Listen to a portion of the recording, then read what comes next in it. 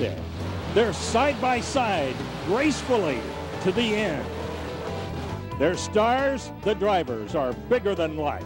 Next on World of Trucks.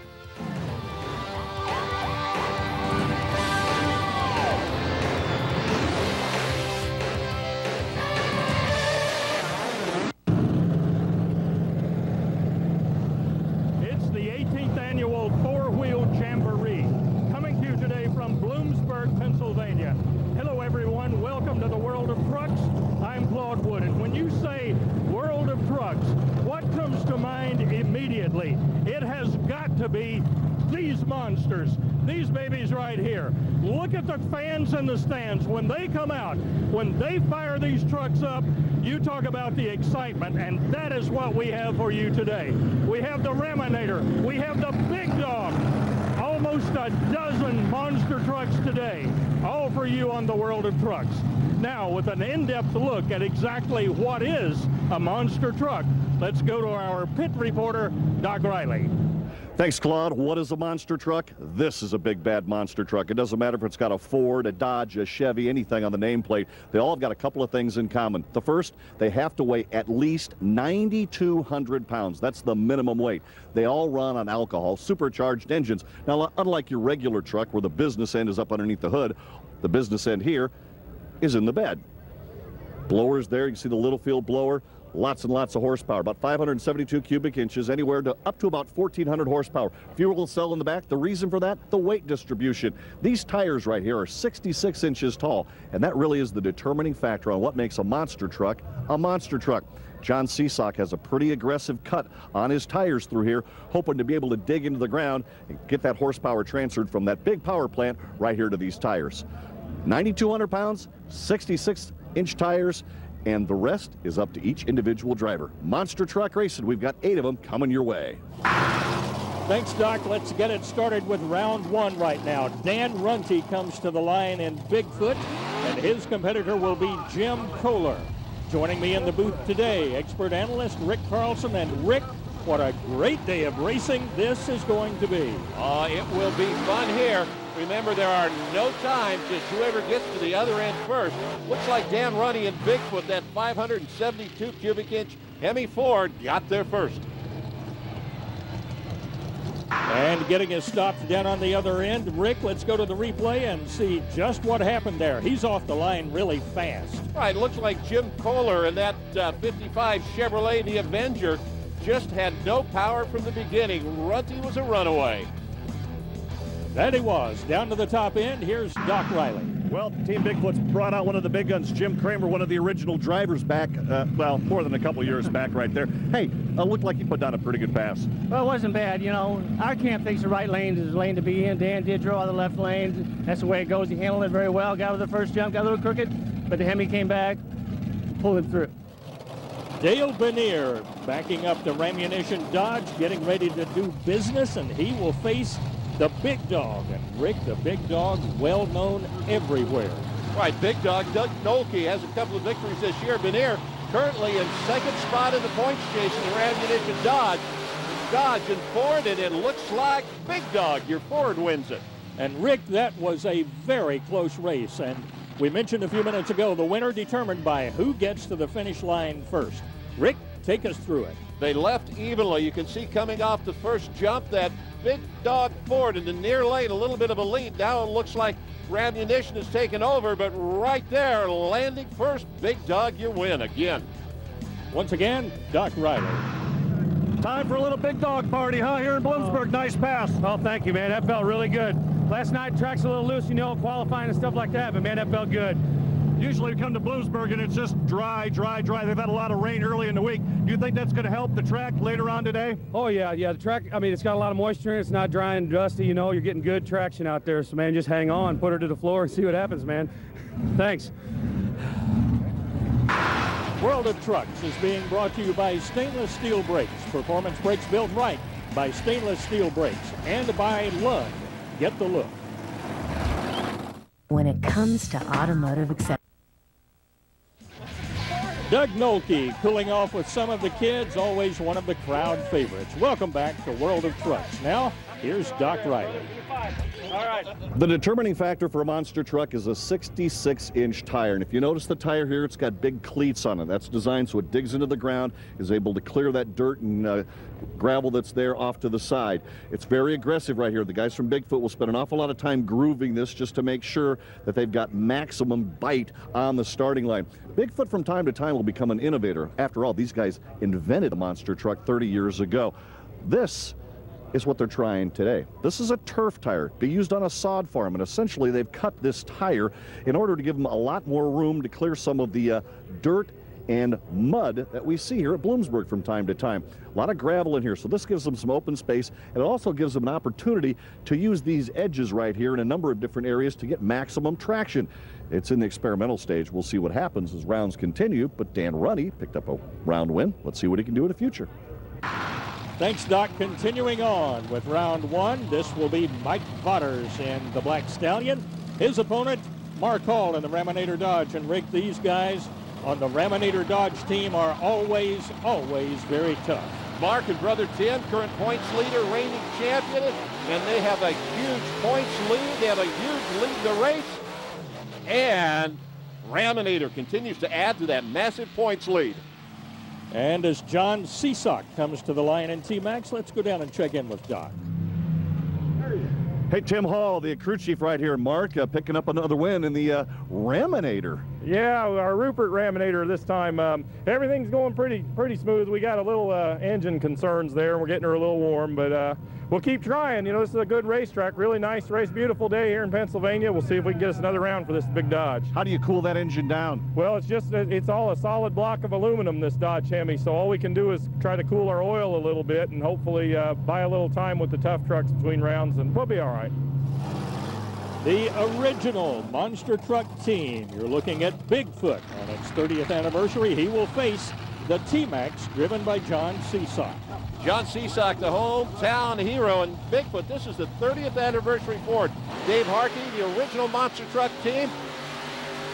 Bob Chandler started all this with Bigfoot, but not this time. T-Maxx picks up your win. And once again, Rick, that race was just so close. Let's check it out once again on the replay. John Seasock, T-Maxx, new truck to John this year. Looks fairly close here, but they get to that second jump, T-Maxx just takes over. Check in with Doc Reilly. He's with our winner. Well, congratulations. That's going to make you feel great, especially when it's here in your home state. All guaranteed, man. We're 20 minutes from home, and it's not often we get to play in our background, in our backyard, you know. And I mean, these guys out here are tough. You know, Bigfoot's 30 years, man. What can you say about that, you know? And uh, this tough race, we're going to take one at a time. You know, every round here could be a fine round anywhere in the country, and we're going to take one at a time and see if we can pull this thing off.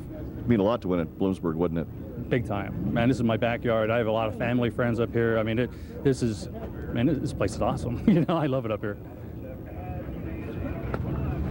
And the job we've done so far, this is how it shakes out as we head into the semifinal round.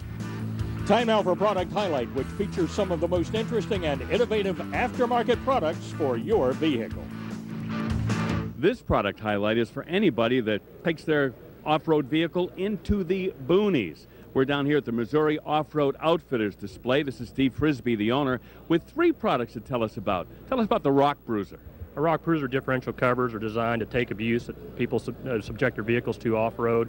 Uh, they hold more volume of fluid so you run cooler, and uh, they're they're built to take anything you can dish out at them. We've got several left in our shop that are scored up, beat up. They still work. So. What about the over-the-top axle truss? What's that? We're the only manufacturer in the United States that builds an over-the-top axle truss. It's a true bolt-on option. It stiffens your axle housing, makes your bearings last longer, takes all the stress of the big tires that people put on their vehicles.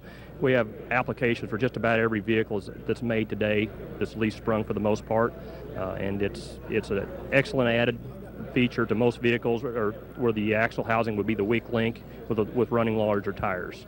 And right between us here is the Wrap Zapper. What's this? This is something new we just introduced. It's a traction device. We hate to use a traction bar because it's not. It truly mounts up out of the way away from the uh, above the drive shaft for the maximum clearance for your vehicles out of the way doesn't get damaged it's it's designed to work in conjunction with your suspension allows it to move fully but yet keep your axle under control eliminates all axle wrap all right rock bruiser over the top axle truss and wrap zapper You get those three products, and you'll be ready to rock. Stay with us. More monster trucks when we come back.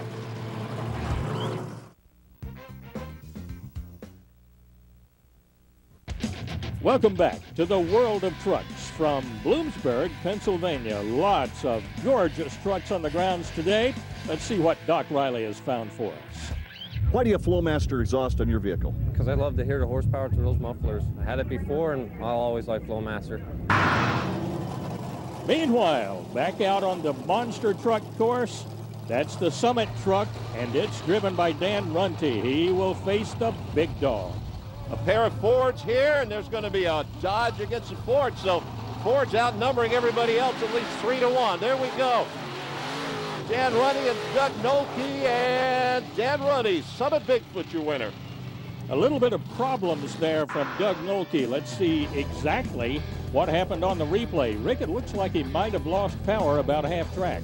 Sit there equal here, but then he just slows down. Looks like he gets a little off course. Runte trying to get to his first win of the year, and that's hard to believe with Bigfoot. Let's go down to top end. Dan Runte takes a win right there. Nice pass. Yeah, it was. I mean, it got a little loose, but I guess Big Dog did too. You know, it, it's a lot out there. You know, it's throwing you up in the air a little bit, and you're having to drive it back the second set of cars. We knew we had to run tough there. I mean, pulled one out for Bigfoot there, but like I said, it's a driving course. Back out on the course, there's the T-Maxx, driven by John Seasock, and he will face the Raminator Dodge by Mark Hall. Rick, could there be some intimidation factor here? Well, there always is when you're up against Mark Hall driving, and Tim Hall is the crew chief. Points leader, the defending series champ, and we'll see what, oh my goodness, this is the upset. That hometown hero, T-Maxx, makes it into the final. Intimidation or not, that's the way it worked out. Ever want to ride in a big truck? Here you go. What do you see? Oh, that first jump, you see nothing but sky and then the ground as you come down. This looks like a good ride for Seasock. Down on top end, he has got to be pleased. Awful lot of horsepower out there in that track. Yeah, definitely, man. It's a fast track. You, are coming in. I didn't lift at all. I mean, I, the light went green. I planted my foot to the floor, and I didn't lift till we were way past the finish line. I don't take any chances, you know. This old T- Traxxas T-Maxx is awesome. I couldn't ask for a better sponsor, better company to be hooked up with. I'm a big kid, and I get to drive a big toy now. Well, this one is going to be very interesting going into the final summit. Bigfoot will face the T-Maxx. Time now for a product highlight, which features some of the most interesting and innovative aftermarket products for your vehicle. On this product highlight, it should be of interest to anybody who does any towing. Now, if you have mud flaps on your tow vehicle, it's protecting that part of the equation. But what about whatever it is you're towing? What protects that? Towtector is designed to do that, and Dan Skibout is the president of Towtector. You've got an interesting little demonstration here of what happens when you're towing something. Yes, Bill. It's a misconception with most people. They think they're protecting what they're towing by just simply putting on a mud flap. People don't realize that most of the debris that is hitting what they're towing is coming in between their back wheels. So it's very, very important to get protection across the full back of the vehicle. Talk about Towtector now. It's individually designed for specific vehicles, not one size fits all. Correct. Um, there's different widths for different vehicles, and there's several different heights of brush strips that accommodate different receiver heights. Our patented support bar keeps the brush strips from blowing back and gives you maximum protection. Phil, one of the things I like about the product is it has double brush strips rather than single, and that really should keep your towed vehicle protected. And the mounting bracket seems really simple. Yeah, Bill, what we did here uh, from the beginning was let, let's do it right. So what we did is we backed it up with a double brush strip, okay, which gave double the protection. Also, the easeability of mounting this thing on the ball mount. Uh, it, you can put the ball mount right through the, the product and put it right into the receiver, and it takes just a matter of seconds. The clamping device, too, is, is totally awesome. It's real easy to put on and real easy to take off. Also, with this product, we've put a wall mount storage bracket with it that can be mounted in your garage so when you take it off of your vehicle, you can put the whole thing up on the wall for easeability. As fast as it goes on the wall is as fast you can put it back on your vehicle. Thanks a lot, Phil. It's called Towtector, and it may be the best product out there, not so much for protecting your tow vehicle, but what's behind it. World of Trucks is being brought to you by Honda, the power of dreams. And by Hallmark, built strong for the way you work and play.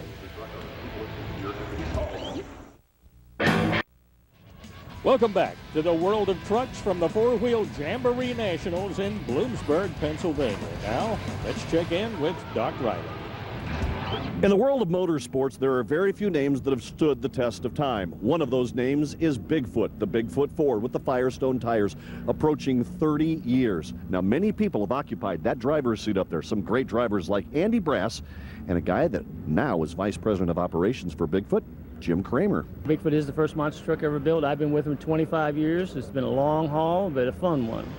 Bob Chandler really is the guy that's been given a lot of credit for the, the idea and the mission, and it's my understanding he still has a lot of great ideas, doesn't he? Sure, he's got ideas. Never stops. Comes into work every day. You know, so most times he's got a new idea. So it's fun to be with him. I'm glad he still takes the interest in it. He does. He eats, sleeps, and drinks monster trucks. What can I say? He lives it. Of course, many people have worked for the Bigfoot team, a number of drivers, fabricators, and folks in the shop. But the person that put it all together, along with his wife Marilyn, is Bob Chandler, the original Bigfoot. I still don't know how, how far it's going to go. People ask me where it's going from here. I have no idea. And I wasn't sure it was going to last this long. But I'm happy. I'm enjoying myself. I'm enjoying meeting a lot of people. And Bloomsburg is one of our great shows. So Bigfoot's almost become an icon. You say Bigfoot and immediately people know what it is. Bigfoot's, we pushed the name of Bigfoot on a truck from, from its very beginning. We didn't push, you know, my, my name or any of the driver's name, the truck's name, and it's kind of taken over because kids know it as Bigfoot. You know, it's it's not a pick, Ford pickup truck necessarily, it's Bigfoot. So that's what we push all along, and it seems to, seem to have carried. So. You know, this idea, and you've told me before that it just kind of took off. It just kind of, uh, you know, went nuts all of a sudden, but kind of relived that moment of when Bigfoot kind of became Bigfoot. Well, the, the, name came about because I'd race every weekend and tear my truck up. And when I got back to the shop every Monday morning, my general manager started calling me Bigfoot because I couldn't keep my foot out of the throttle. And I stuck the name on the side of the truck because it had big tires, so I figured that's where I got the Bigfoot out of it. And from that point on, it just it just grew and grew and grew. We, we went out to the field one time and crushed some cars to see if we could do it. And then promoter saw that and wanted us to do it in front of the crowd, and we did it at uh, Jefferson, Jefferson City, Missouri. was the first place we, we crushed cars for a crowd, and then people went nuts. And every, you know, from that point on, that's all we can do. We we race now and we clear the cars. You know, all we need is ramps, but we've taken the cars out before, and people don't like it. But That's something that I guess we've created from the start, and it's, it's the way it goes. The trucks are totally different than anything else out there. The unsprung, the sprung weight is backwards of any other vehicle. Uh, we run a fiberglass body, we run 1,500 horsepower, and a 10,000 pound truck. I mean, how do you make a 10,000 pound truck do what? When we first started, I was talking to some people years and years ago. I said, there's no way to take these trucks off the ground. They break in pieces. And now we're jumping airplanes and jumping semis with them, so it still amazes me. Congratulations, Bob. Thank you very much, Doc. A lot of history behind the Bigfoot team, driven by Dan Runte as he brings his machine to the line to face John Seasock. And once again, Rick, this will be a big moment for John Seasock. Well, you have two racers who have not visited Victory Lane this year. Bigfoot surprising Seasock won the year before, but now able to get in here. The local hero against that big name of it, Bigfoot truck. Bigfoot first off of the line, and he takes the victory. Let's go to the replay and see Rick exactly how he did it. Well, they lead together. I don't know if it's the new style tires, that new tread pattern that Runte has, or the years of experience, but it was close. Seasock trying to take the win, but uh, Runte, the veteran, shines in this one. Back down to top end. Here's Doc Hey, congratulations, a win at Bloomsburg. Yeah, it's awesome. I mean, new sponsorship. And we're playing a lot with tires, too, as everybody can tell. I mean, kind of throwed some stuff around yesterday because we didn't know what it was going to do on account of rain, you know, and it worked pretty good, so we left it alone today. We got Jim and Bob are here, you know, just the whole team. I mean, that's where Bigfoot started 30 years ago, and it's tough, you know. It just, to get a win like this means a lot here.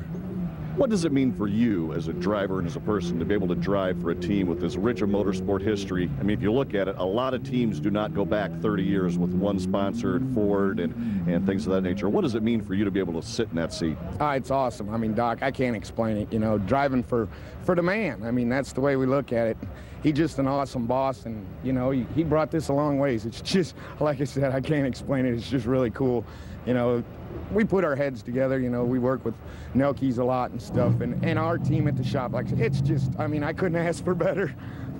Congratulations, champ. Thank you. You gotta love it, Rick. The emotion is still on Dan's face, probably as much as it was the very first one. After 10 of 18 rounds, Mark Hall out in first place in the Raminator Dodge in points. Congratulations to him. Now, let's go to freestyle. This is Andy Slifko. Well, he started out with four tires on the rim, finished with that jump with just three. Kurt Dabney, Monster Patrol, going to climb over that big step van and put the front end up in the air. And Rick, this is freestyle, but it's all about go out. You've got one goal, one objective here. And that is please the crowd. And you can hear the crowd in the background. Monster Patrol, one of the favorites, taking out all the signs.